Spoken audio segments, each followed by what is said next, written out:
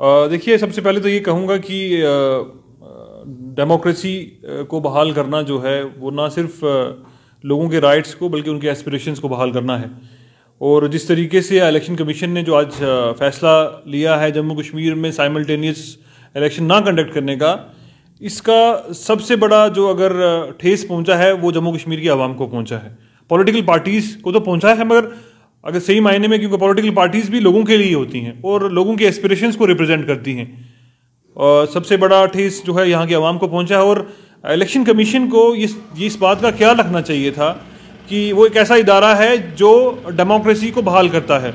और जम्मू कश्मीर में पिछले दस बरस से जो है इलेक्शंस नहीं हुए और आठ छः सालों से जो है असेंबली वजूद में नहीं है। तो जम्मू कश्मीर के अवाम को कब तक डेमोक्रेसी से महरूम रखेंगे? इस बात का जवाब इलेक्शन कमीशन को आज देना चाहिए था।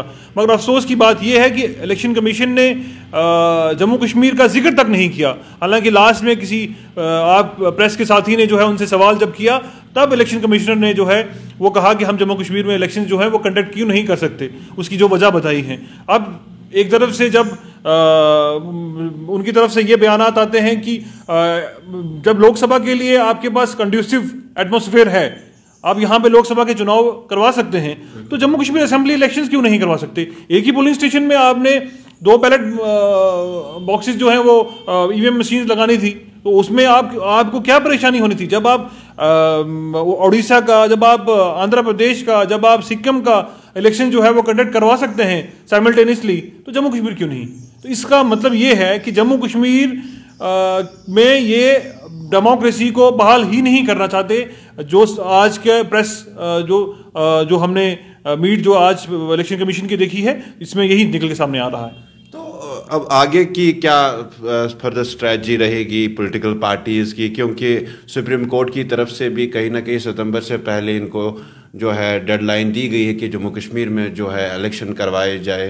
तो अब लोकसभा इलेक्शन भी है तो क्या कहना चाहते हैं? देखिए देखिए, बात तो ये है कि अब क्योंकि सब जब ये प्रोसेस कंप्लीट हो जाएगा, उसके बाद अमरनाथ यात्रा है, और बाय द एंड ऑफ़ सितंबर थर्टियथ इनको यहाँ पे इलेक्शंस करवाने हैं as per supreme court direction but अब ये है कि अब इनको देखना है कि किस कौन सा मंथ जो है ये जम्मू कश्मीर में इलेक्शंस करवाने के लिए चुनेंगे। अब वो इनको तय करना है। मगर मेरे लिहाज से जो मुझे समझ आता है कि सबसे अच्छा एटमोसफेयर के लिहाज से भी सिक्योरिटी एटमोसफेयर के लिहाज से भी और वेदर कंडीशन के लिहाज से भी ये महीने जो थे ये सबसे बेहतर थे इलेक्शन करवाने के लिए जम्मू नहीं करवाती है इलेक्शन फिर यहाँ यहाँ- इलेक्शन कमीशन कह रही है कि हम तैयार है या प्रेजेंट रिजीम कहती है कि हम भी तैयार है जिस तरह से बीजेपी से जब हम सवाल करते तो इलेक्शन कमीशन ने तो ये कहा कि हमें एडमिनिस्ट्रेशन की तरफ़ से सपोर्ट नहीं मिला है। उन्होंने कहा कि हमें एडिशनल 500 कंपनीज़ जो है चाहिए जम्मू कश्मीर में इलेक्शन करवाने के लिए। तो क्यों नहीं आप 500 कंपनीज़ जो है जम्मू कश्मीर में दे सकते? यहाँ पे इलेक्शन यहाँ पे एक वो एरिया एक वो रियासत जो अपने आप में खुद मुख्तार रियासत हुआ करती थी और पिछले दस साल से आप वहाँ पे असेंबली चुनाव नहीं करवा पाए और प्रधानमंत्री साहब यहाँ जम्मू में भी आगे श्रीनगर में भी आगे बड़े बड़े भाषण देते हैं और ये कहते हैं कि हमने जम्मू कश्मीर को एक नया जम्मू कश्मीर बना दिया। मगर जहाँ बात लोगों के राइट्स की वापस देने की बात होती है, जहाँ पे उनके जहाँ पे लोगों के एस्पिरेशंस की बात की जाती है तो वहाँ बीजेपी खामोश, वहाँ प्रधानमंत्री खामोश। तो ये बात कौन इस बात का जवाब देगा? सौ बात की एक बात मैं ये कहूँगा कि जम्मू कश्मीर में को हमेशा से टेस्टिंग लेबोरेटरी के तहत तरह जो है ट्रीट किया गया। इससे पहले भी उसका इस्तेमाल किया, लोगों को इस्तेमाल किया, जम्मू कश्मीर का इस्तेमाल करके।